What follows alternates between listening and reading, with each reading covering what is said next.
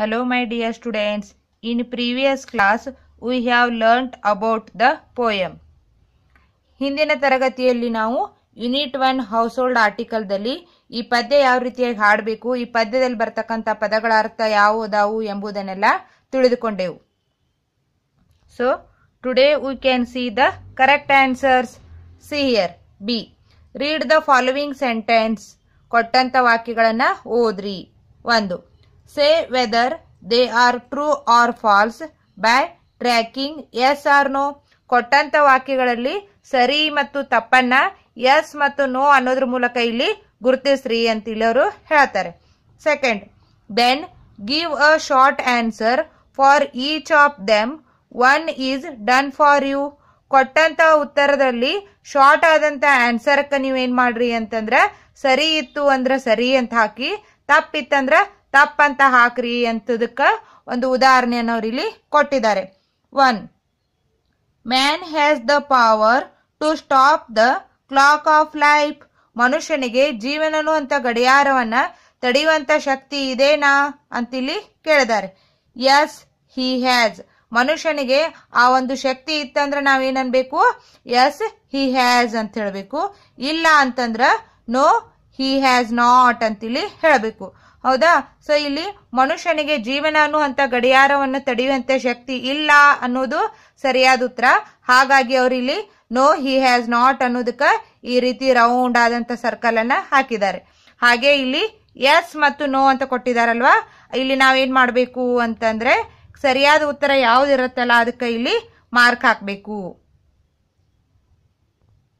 So dear student in your text book page number two. ನಿಮ್ಮ ಪಠ್ಯ ಪುಸ್ತಕದ ಒಂದು ಪುಟ ಸಂಖ್ಯೆ ಎರಡರಲ್ಲಿ ನೋಡಿ. ಕೊಟ್ಟಂತ ಉತ್ತರಕ್ಕೆ ಇಲ್ಲಿ, ನೋ, ಹಿ ಹ್ಯಾಸ್ ನಾಟ್ ಅನ್ನೋದು ಸರಿ ಉತ್ತರ. ಅದಕ್ಕಾಗಿ ನಾವು ಇಲ್ಲಿ ಈ ರೀತಿಯಾಗಿ ರೌಂಡ್ ಮಾರ್ಕ್ ಹಾಕಿದೀವಲ್ವಾ? ಹಾಗಾದ್ರೆ ಇಲ್ಲಿ ಎಸ್, ನೋ ಅಂತ ಎರಡು ಉತ್ತರ ಕೊಟ್ಟಿದಾರಲ್ವಾ? ಇದರಲ್ಲಿ ಯಾವುದು ಸರಿಯಾದ ಉತ್ತರ ಅಂತಂದ್ರ, ನೋ ಹಾಗಾದ್ರೆ ಇಲ್ಲಿ ನೋ ಅನ್ನೋದಕ್ಕೆ ನೀವೇನ್ ಮಾಡ್ರಿ?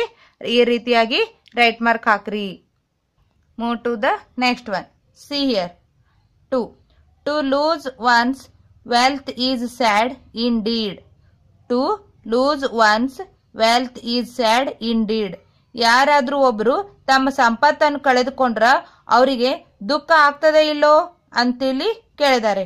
ಇಲ್ಲಿ ಅವರಿಗೆ ಸಂಪತ್ತನ್ನು ಕಳ್ಕೊಂಡ್ರೆ ದುಃಖ ಆಗ್ತತಿ ಅನ್ನೋದಾತಂದ್ರ ಎಸ್ ಇಟ್ ಈಸ್ ಅಂತ ಹೇಳಿ ಬರಿಬೇಕು. ಇಲ್ಲ ಅಂದ್ರೆ ನೋ ಇಟ್ ಈಸ್ ನಾಟ್ ಅಂತ ಹೇಳಬೇಕು. ಹಾಗಾದ್ರೆ ಯಾರಾದ್ರೂ ಒಬ್ರು ತಮ್ಮ ಸಂಪತ್ತನ್ನು ಕಳ್ಕೊಂಡ್ರೆ ಅವ್ರಿಗೆ ದುಃಖ ಆಗ್ತದಲ್ಲ? ಅದಕ್ಕೆ ಇಲ್ಲಿ ನಾವೇನ್ ಮಾಡಬೇಕು? ಎಸ್ ಇಟ್ ಈಸ್ ಅನ್ನೋದಕ್ಕೆ ನಾವು ಈ ರೀತಿ ರೌಂಡ್ ಆದಂತ ಮಾರ್ಕ್ ಹಾಕ್ಬೇಕು. ಹಾಗೆ ಇಲ್ಲಿ ನೋಡಿ ಎಸ್ ಆರ್ ನೋ ಅಂತ ಆನ್ಸರ್ ಕೊಟ್ಟಿದ್ದಾರೆ. ಹೌದಾ? ಸೊ ಯಾರಾದ್ರೂ ತಮ್ಮ ಸಂಪತ್ತನ್ನು ಕಳ್ಕೊಂಡ್ರೆ ಅವ್ರಿಗೆ ದುಃಖ ಆಗತ್ವಲ್ಲ? ಹಾಗಾಗಿ ನಾವು ಇಲ್ಲಿ ಏನ್ ಮಾಡಬೇಕು? ಎಸ್ ಅನ್ನೋದಕ್ಕೆ ನಾವು ಈ ರೀತಿಯಾಗಿ ರೈಟ್ ಮಾರ್ಕ್ ಹಾಕ್ಬೇಕು. Next three we all give importance to health ನಾವೆಲ್ಲರೂ ನಮ್ಮ ಆರೋಗ್ಯಕ್ಕೆ ಮಹತ್ವ ಕೊಡ್ತೀವಲ್ವಾ ಅಂತ ಇಲ್ಲಿ ಕೇಳಿದ್ದಾರೆ. ನಾವು ಎಲ್ಲರೂ ನಮ್ಮ ಆರೋಗ್ಯಕ್ಕೆ ಮಹತ್ವ ಕೊಡ್ತೀವಿ ಅನ್ನೋದಾತಂದ್ರೆ ಎಸ್ ವಿ ಡೂ ಅಂತೇಳಿ ಹೇಳಬೇಕು. ಇಲ್ಲ ಅನ್ನೋದಾದರೆ ನೋ ವಿ ಡೋಂಟ್ ಅಂತ ಹೇಳಬೇಕು. ಹಾಗಾದರೆ ಇವೆರಡರಲ್ಲಿ ಸರಿಯಾದ ಉತ್ತರ ಯಾವ್ದು ಹೇಳಿ? Yes very good yes we do ಅನ್ನೋದಕ್ಕೆ ನಾವಿಲ್ಲಿ ಈ ರೀತಿ ರೌಂಡ್ ಆದಂಥ ಸರ್ಕಲನ್ನು ಹಾಕಬೇಕು ಹಾಕ್ಬೇಕು. ಹಾಗೆ ಇಲ್ಲಿ ಎಸ್ ಆರ್ ನೋ ಅಂತ ಕೊಟ್ಟಿದಾರಲ್ವಾ? ಹಾಗಾಗಿ ನಾವು ನಮ್ಮ ಆರೋಗ್ಯಕ್ಕೆ ಮಹತ್ವವನ್ನು ಕೊಡ್ತೀವಿ ಅನ್ನೋದಕ್ಕ ನಾವಿಲ್ಲಿ ಎಸ್ ಅನ್ನೋದಕ್ಕೆ ಈ ರೀತಿಯಾದಂಥ ಮಾರ್ಕ್ ರೈಟ್ ಮಾರ್ಕ್ ಅನ್ನ ಹಾಕಬೇಕು.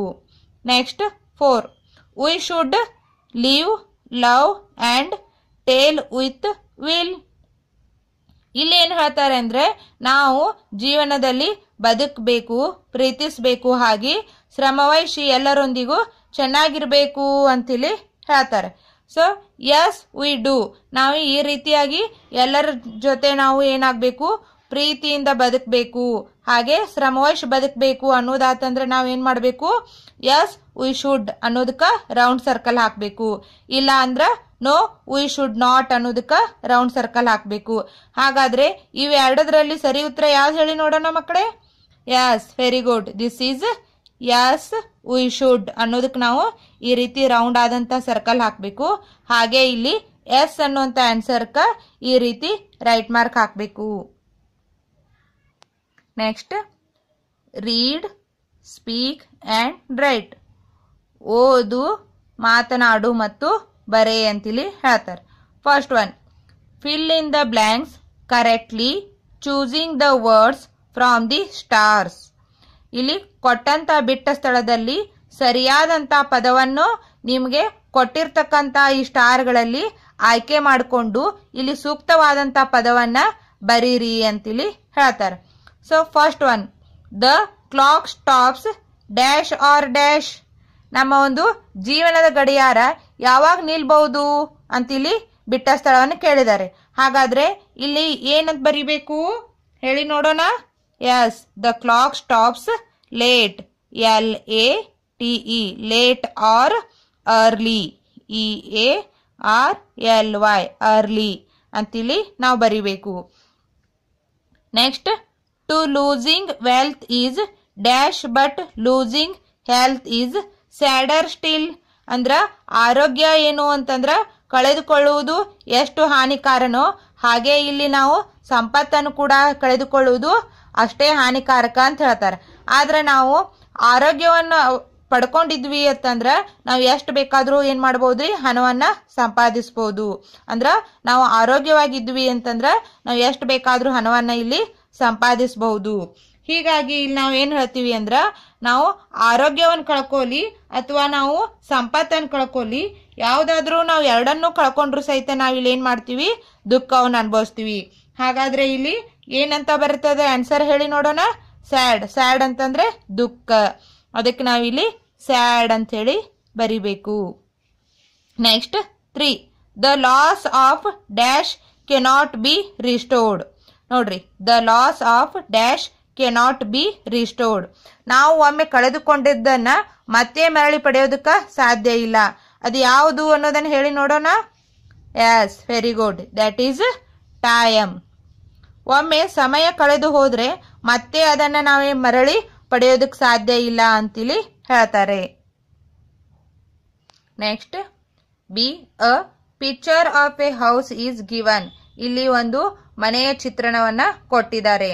Write the name of the household articles in the right column ಇಲ್ಲಿ ಕೊಟ್ಟಂತ ಒಂದು ಮನೆಯಲ್ಲಿ ಬರ್ತಕ್ಕಂತ ಹೌಸ್ ಹೋಲ್ಡ್ ಆರ್ಟಿಕಲ್ ಅನ್ನ ಕೆಳಗೆ ಕೊಟ್ಟಂತ ಸರಿಯಾದ ಒಂದು ಕಾಲಮ್ನಲ್ಲಿ ಬರೀರಿ ಅಂತ ಹೇಳ್ತಾರೆ.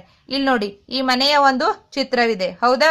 ಸೊ ಈ ಮನೆಯಲ್ಲಿ ಬಳಸ್ತಕ್ಕಂತ ಎಲ್ಲ ಸಾಮಾನುಗಳ ಒಂದು ಚಿತ್ರವನ್ನ ಇಲ್ಲಿ ಕೊಟ್ಟಿದ್ದಾರೆ. For example chair TV telephone clock ಹಾಗೆ ಇಲ್ಲಿ ಸ್ಟೋವ್ ಕುಕ್ಕರ್ ಹೌದಾ? ಈ ರೀತಿಯಾದಂತ ಎಲ್ಲ ಒಂದು ವಸ್ತುಗಳನ್ನ ನಾವಿಲ್ಲಿ ನೋಡಬಹುದು ಹಾಗೆ ಈ ಕೆಳಗಿನ ಒಂದು ಟೇಬಲ್ದಲ್ಲಿ ನೋಡಿ ಮಕ್ಕಳೇ, ಇಲ್ಲಿ ಕೊಟ್ಟಂತ ಚಿತ್ರಗಳ ಹೆಸರು ಯಾವುವು ಎಂಬುದನ್ನ ಇಲ್ಲಿ ಕೊಟ್ಟಿದ್ದಾರೆ. For example chair spoons pillow shower curtain stove alarm clock sofa bucket tap cooker table telephone dining table glass bed television bowl so dear students they have given here one box ಹೌದಾ? ಇಲ್ಲಿ ಒಂದು box ಕೊಟ್ಟಿದ್ದಾರೆ. So ಇದರಲ್ಲಿ ಏನು ಅಂತಂದ್ರೆ living room living room ಅಂದ್ರೆ ನಾವು ಇರ್ತಕ್ಕಂತ ಒಂದು ಹಾಲ್ ಹಾಗೆ ಕಿಚನ್ ಅಡುಗೆ ಮನೆ ಬೆಡ್ರೂಮ್ ಮಲಗುವ ಕೋಣೆ ಬಾತ್ರೂಮ್ ಸ್ನಾನ ಮಾಡುವ ಕೋಣೆ ಡೈನಿಂಗ್ ಹಾಲ್ ಅಂದ್ರೆ ಊಟ ಮಾಡ್ತಕ್ಕಂಥ ಕೋಣೆ. ಇಲ್ಲಿ ಕೆಳಗಡೆ ಕೊಟ್ಟಿರ್ತಕ್ಕಂಥ ಪ್ಲೇಸ್ನಲ್ಲಿ ಇಲ್ಲಿ ಯಾವ ಒಂದು ವಸ್ತುಗಳನ್ನ ನಾವು ಯಾವ ರೂಮ್ನಲ್ಲಿ ಉಪಯೋಗಿಸ್ತೀವಿ ಅನ್ನೋದನ್ನ ಇಲ್ಲಿ ಬರಿಬೇಕು. ಸೊ ಡಿಯರ್ ಸ್ಟೂಡೆಂಟ್ಸ್ ಈಗ ನಾನು ಇಲ್ಲಿ ಲಿವಿಂಗ್ ರೂಮ್ನಲ್ಲಿ ಬರ್ತಕ್ಕಂತ ಒಂದು ವಸ್ತುಗಳ ಹೆಸರು, ಹಾಗೆ ಕಿಚನ್ನಲ್ಲಿ ಬರ್ತಕ್ಕಂತ ಕೆಲವೊಂದಿಷ್ಟು ವಸ್ತುಗಳ ಹೆಸರು, ಹಾಗೆ ಬೆಡ್ರೂಮ್ನಲ್ಲಿ ನಲ್ಲಿ ಬರ್ತಕ್ಕಂತ ಕೆಲವೊಂದಿಷ್ಟು ವಸ್ತುಗಳ ಹೆಸರು ಹಾಗೆ ಬಾತ್ರೂಮ್ನಲ್ಲಿ ಬರ್ತಕ್ಕಂತ ವಸ್ತುಗಳ ಹೆಸರು ಮತ್ತೆ ಡೈನಿಂಗ್ ಹಾಲ್ನಲ್ಲಿ ಬರ್ತಕ್ಕಂತ ವಸ್ತುಗಳ ಹೆಸರು ಯಾವುವು ಎಂಬುದನ್ನ ಇಲ್ಲಿ ಬರ್ದೀನಿ. ಫಾರ್ ಎಕ್ಸಾಂಪಲ್ ಇಲ್ಲೇನಿದೆ? ಚೇರ್ ಚೇರನ್ನ ನಾವು ಎಲ್ಲಿ ಯೂಸ್ ಮಾಡ್ತೀವಿ ಹೇಳಿ? ಲಿವಿಂಗ್ ರೂಮ್ ಹೌದಲ್ವಾ? ಅದೇ ರೀತಿ ಸೋಫಾ ಈ ಸೋಫಾ ನಾವು ಎಲ್ಲಿ ಯೂಸ್ ಮಾಡ್ತೀವಿ? ಲಿವಿಂಗ್ ರೂಮ್ ಹಾಗೆ ಟೇಬಲ್ ಎಲ್ಲಿದೆ ನೋಡಿ ಟೇಬಲ್ ಹ್ಮ್, ಹೇಳಿ ನೋಡೋಣ. ಇಲ್ಲಿ ಟೇಬಲ್ ಇದೆ, ಹೌದಾ? ಈ ಟೇಬಲ್ ಅನ್ನ ನಾವೇನ್ ಮಾಡ್ತೀವಿ ಅಂತಂದ್ರ ಲಿವಿಂಗ್ ರೂಮ್ನಲ್ಲಿ ಯೂಸ್ ಮಾಡ್ತೀವಿ. ಅದೇ ರೀತಿ ಟೆಲಿಫೋನ್. ಎಲ್ಲಿದೆ ನೋಡಿ ಟೆಲಿಫೋನ್? ಇಲ್ಲಿದೆ, ಹೌದಾ? ಈ ಟೆಲಿಫೋನ್ ಅನ್ನ ನಾವೇನ್ ಮಾಡ್ತೀವಿ? ಲಿವಿಂಗ್ ರೂಮ್ನಲ್ಲಿ ಯೂಸ್ ಮಾಡ್ತೀವಿ. ಹಾಗೆಯೇ ಕರ್ಟನ್. ಇಲ್ಲಿದೆ ಅಲ್ಲ? ಈ ಕರ್ಟನ್ ಅನ್ನ ನಾವೇನ್ ಮಾಡ್ತೀವಿ? ಲಿವಿಂಗ್ ರೂಮ್ನಲ್ಲಿ ಯೂಸ್ ಮಾಡ್ತೀವಿ. ಅದೇ ರೀತಿ ಟೆಲಿವಿಷನ್. ಈ ಟೆಲಿವಿಷನ್ ಅನ್ನು ಸಹಿತ ನಾವೇನ್ ಮಾಡ್ತೀವಿ? ಲಿವಿಂಗ್ ರೂಮ್ನಲ್ಲಿ ಯೂಸ್ ಮಾಡ್ತೀವಿ. ಹಾಗಾದ್ರೆ ಕಿಚನ್ನಲ್ಲಿ ಯಾವ ವಸ್ತುಗಳನ್ನು ಯೂಸ್ ಮಾಡ್ತೀವಿ ಹೇಳಿ ನೋಡೋಣ. ಫಾರ್ ಎಕ್ಸಾಂಪಲ್ ಸ್ಪೂನ್ಸ್ ಹೌದಾ? ಸೊ ಇಲ್ಲಿ ಕೆಲವೊಂದಿಷ್ಟು ಚಮಚಗಳ ಚಿತ್ರ ಕೊಟ್ಟಿದಾರಲ್ವಾ? ಸೊ ಈ ಚಮಚಗಳನ್ನು ನಾವೇನು ಮಾಡ್ತೀವಿ? ಅಡುಗೆ ಮನೆಯಲ್ಲಿ ಯೂಸ್ ಮಾಡ್ತೀವಿ. ಹಾಗೆ ನೆಕ್ಸ್ಟ್ ಸ್ಟೋ ಸ್ಟೋ ಅಂತಂದ್ರೆ ಒಲೆ. ಸೊ ಒಲೆಯನ್ನು ನಾವೇನು ಮಾಡ್ತೀವಿ? ಅಡುಗೆ ಮನೆಯಲ್ಲಿ ಯೂಸ್ ಮಾಡ್ತೀವಿ. ಸೊ ನೆಕ್ಸ್ಟ್ ಯಾವ ವಸ್ತುವನ್ನು ಯೂಸ್ ಮಾಡ್ತೀವಿ ಹೇಳಿ ನೋಡೋಣ? ಕುಕ್ಕರ್ ಈ ಕುಕ್ಕರನ್ನು ನಾವೇನು ಮಾಡ್ತೀವಿ? ಅಡುಗೆ ಮನೆಯಲ್ಲಿ ಯೂಸ್ ಮಾಡ್ತೀವಿ. ಹಾಗೆ ಗ್ಲಾಸ್ ಇಲ್ಲಿ ಗ್ಲಾಸ್ಗಳ ಚಿತ್ರ ಕೊಟ್ಟಿದ್ದಾರೆ ನೋಡಿ. ಈ ಗ್ಲಾಸನ್ನು ಸಹಿತ ನಾವೇನು ಮಾಡ್ತೀವಿ ಇಲ್ಲಿ? ಅಡಿಗೆ ಮನೆಯಲ್ಲಿ ಯೂಸ್ ಮಾಡ್ತೀವಿ. ಹಾಗೆ ಬೌಲ್. ಹೌದಾ? ಬೌಲ್ ಅಂದರೆ ಬಟ್ಲು. ಈ ಬಟ್ಟಲನ್ನು ಸಹಿತ ನಾವೇನು ಮಾಡ್ತೀವಿ? ಅಡುಗೆ ಮನೆಯಲ್ಲಿ ಯೂಸ್ ಮಾಡ್ತೀವಿ. ನೆಕ್ಸ್ಟ್ ಬೆಡ್ರೂಮ್ ಬೆಡ್ರೂಮ್ ಅಂದ್ರೆ ಮಲಗುವ ಕೋಣೆ. ಈ ಮಲಗುವ ಕೋಣೆಯಲ್ಲಿ ನಾವು ಯಾವ ಯಾವ ಸಾಮಾನುಗಳನ್ನು ಯೂಸ್ ಮಾಡ್ತೀವಿ ಹೇಳಿ ನೋಡೋಣ. ಫಾರ್ ಎಕ್ಸಾಂಪಲ್ ಬೆಡ್ ಬೆಡ್ ಅಂದ್ರೆ ಹಾಸಿಗೆ. ಹೌದಾ? ಸೊ ಈ ಹಾಸಿಗೆಯನ್ನು ನಾವೇನು ಮಾಡ್ತೀವಿ? ಬೆಡ್ರೂಮ್ನಲ್ಲಿ ಯೂಸ್ ಮಾಡ್ತೀವಿ. ಅದೇ ರೀತಿ ಪಿಲೋ ಪಿಲೋ ಅನ್ನು ನಾವೇನು ಮಾಡ್ತೀವಿ? ಬೆಡ್ರೂಮ್ನಲ್ಲಿ ಯೂಸ್ ಮಾಡ್ತೀವಿ. ಹಾಗೆ ಅಲಾರಾಮ್ ಕ್ಲಾಕ್. ನಾವು ಬೆಳಗ್ಗೆ ಬೇಗನೆ ಏಳಬೇಕು ಅನ್ನೋದಕ್ಕೆ ನಾವೇನು ಮಾಡ್ತೀವಿ? ನಮ್ಮ ಬೆಡ್ರೂಮ್ನಲ್ಲಿ ಅಲಾರಾಮ್ ಕ್ಲಾಕ್ ಯೂಸ್ ಮಾಡ್ತೀವಲ್ಲ? ಇಲ್ಲಿ ಹೀಗಾಗಿ ಅಲಾರಾಮ್ ಕ್ಲಾಕ್ ಅಂತ ಬರಿಬೇಕು. ಅದೇ ರೀತಿ ನಮ್ಮ ಬಾತ್ರೂಮ್ನಲ್ಲಿ ಯಾವ ಯಾವ ವಸ್ತುಗಳಿರುತ್ತೆ ಹೇಳಿ ನೋಡೋಣ. ಟ್ಯಾಪ್. ಹೌದಾ? ನಮ್ಮ ಬಾತ್ರೂಮ್ನಲ್ಲಿ ನಳ ಇರುತ್ತಲ್ವ? ಹಾಗಾಗಿ ಇಲ್ಲಿ ಟ್ಯಾಪ್ ಅಂತ ಬರಿಬೇಕು. ಅದೇ ರೀತಿ ಶಾವರ್. ಶವರ್ ಅಂತಂದ್ರೆ ಈ ರೀತಿಯಾಗೆ ಇರುತ್ತೆ. ಹೌದಾ? ಸೊ ಈ ಶವರ್ ನಾವೇನು ಮಾಡ್ತೀವಿ ಅಂದ್ರೆ ಬಾತ್ರೂಮ್ನಲ್ಲಿ ಯೂಸ್ ಮಾಡ್ತೀವಿ. ಹಾಗಾಗಿ ನಾವಿಲ್ಲಿ ಶವರ್ ಅಂತ ಬರಿಬೇಕು. ಹಾಗೆ ಇಲ್ಲಿ ಬಕೆಟ್ ಹೌದಾ? ಇಲ್ಲೊಂದು ಬಕೆಟ್ ಕೊಟ್ಟಿದಾರಲ್ಲ ಸೊ ಈ ಬಕೆಟ್ ಅನ್ನು ಸಹಿತ ನಾವೇನು ಮಾಡ್ತೀವಿ? ಇಲ್ಲಿ ಬಾತ್ರೂಮ್ನಲ್ಲಿ ಯೂಸ್ ಮಾಡ್ತೀವಿ. ಹಾಗಾದ್ರೆ ಈ ಡೈನಿಂಗ್ ಹಾಲ್ನಲ್ಲಿ ನಾವು ಏನು ಯೂಸ್ ಮಾಡ್ತೀವಿ ಹೇಳಿ ನೋಡೋಣ. ಯಾವುದು? ಡೈನಿಂಗ್ ಟೇಬಲ್ ಸೊ ಎಲ್ಲರೂ ಕೂತ್ಕೊಂಡು ಊಟ ಮಾಡೋದಕ್ಕೆ ನಾವೇನು ಮಾಡ್ತೀವಿ ಇಲ್ಲಿ? ಡೈನಿಂಗ್ ಟೇಬಲ್ ಅನ್ನ ಯೂಸ್ ಮಾಡ್ತೀವಿ. Next C fill in the blanks using the clues given in brackets ಈ ಕೊಟ್ಟಂತ ಬಿಟ್ಟ ಸ್ಥಳದಲ್ಲಿ ಏನು ಮಾಡಿ ಅಂತಂದ್ರೆ, ಕೊಟ್ಟಂತ ಒಂದು ಮಾಹಿತಿ ಅಥವಾ ಸುಳಿವನ್ನು ಆಧರಿಸಿ ಈ ಬಿಟ್ಟ ಸ್ಥಳದಲ್ಲಿ ಬರೀರಿ ಅಂತ ಹೇಳ್ತಾರೆ. So fill in the blanks using the clues given in brackets ಈ ಒಂದು ಬ್ರಾಕೆಟ್ಸ್ನಲ್ಲಿ ಕೊಟ್ಟಂತ ಒಂದು ಮಾಹಿತಿಯನ್ನ ಆಧರಿಸಿ ನೀವೇನ್ ಮಾಡಬೇಕು? ಬಿಟ್ಟ ಸ್ಥಳದಲ್ಲಿ ತುಂಬಬೇಕು ಅಂತ ಹೇಳ್ತಾರೆ. ಒಂದನೇದ್ದು ಪ್ಲೇಟ್ ಪ್ಲೇಟ್ ಅಂದ್ರ ತಟ್ಟೆ. What is a plate for so ಇಲ್ಲಿ ವಾಟ್ ಅಂತ ಬರೋದು ಈ ರೀತಿ ಎಫಾಸ್ಟೆಫಿ ಎಸ್ ಚಿಹ್ನೆ ಕೊಟ್ಟು ಎಸ್ ಅಂತ ಬರೆದಿದಾರಲ್ಲ ಇದಕ್ಕೆ ನಾವು ವಾಟ್ ಈಸ್ ಅಂತ ಕರಿತೀವಿ. ವಾಟ್ ಈಸ್ ಶಾರ್ಟ್ ಫಾರ್ಮ್ ಏನು?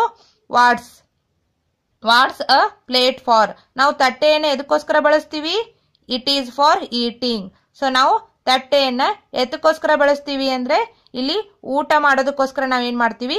ತಟ್ಟೆಯನ್ನ ಬಳಸ್ತೀವಿ ಅಂತ ಇಲ್ಲಿ ಹೇಳ್ತಾರೆ. ಸೊ ಹಾಗಾಗಿ ಇಲ್ಲಿ plate what's a plate for or what is a plate for ಹೌದಾ? So it is for eating ಇದನ್ನ ನಾವು ಊಟ ಮಾಡಲು ಬಳಸ್ತೀವಿ ಅಂತೇಳಿ ಹೇಳ್ತಾರಲ್ಲ? ಹಾಗೆ ಇಲ್ಲಿ ಬ್ರೂಮ್ ಅಂತಂದ್ರೆ ಏನು? ಕಸಬರ್ಗೆ.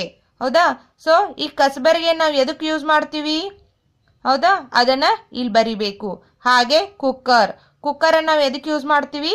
ಅನ್ನೋದನ್ನ ಇಲ್ಲಿ ಬರಿಬೇಕು. ಹಾಗೆ ಮಿಕ್ಸರ್ ಮಿಕ್ಸರ್ ನಾವು ಎದಕ್ಕೆ ಯೂಸ್ ಮಾಡ್ತೀವಿ? ಅನ್ನುವಂಥದ್ದನ್ನ ಇಲ್ಲಿ ಬರಿಬೇಕು. ಸೊ ಅದು ಎದಕ್ಕೋಸ್ಕರ ಅನ್ನುವಂಥ ಅನ್ನ ಇಲ್ಲಿ ಬರಿಬೇಕು. Next wash basin wash basin ನಾವು ಎದಕ್ಕೆ ಯೂಸ್ ಮಾಡ್ತೀವಿ ಅನ್ನೋದನ್ನ ಇಲ್ಲಿ ಬರಿಬೇಕು.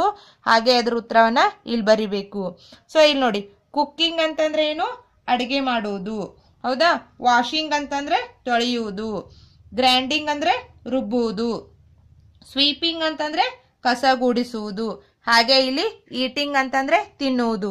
ಸೊ ನಾವು ಈ ಒಂದು ಬ್ರೂಮ್ ಕಸಬರಿಗೆಯನ್ನ ಎದಕ್ಕೋಸ್ಕರ ಉಪಯೋಗಿಸ್ತೀವಿ ಅನ್ನೋದನ್ನ ಇಲ್ಲಿ ಬರಿಬೇಕು. ಹಾಗೆ ನಾವು ಅದರ ಉತ್ತರ ಯಾವುದು ಎಂಬುದನ್ನ ಇಲ್ಲಿ ಬರಿಬೇಕು. ಹೀಗೆ ಈ ಎಲ್ಲ ಪ್ರಶ್ನೆಗಳಿಗೂ ಉತ್ತರವನ್ನು ಬರಿಬೇಕು.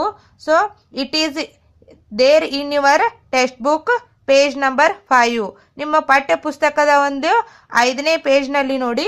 ಸೊ ಇದು fill in the blanks using the clues given in brackets ಅಂತ ಕೊಟ್ಟಿದಾರಲ್ಲ ಸೊ ಇದರ ಉತ್ತರವನ್ನು ಬರೆದು ವಾಟ್ಸಪ್ ಮೂಲಕ ನನಗೆ ಕಳಿಸ್ಬೇಕು.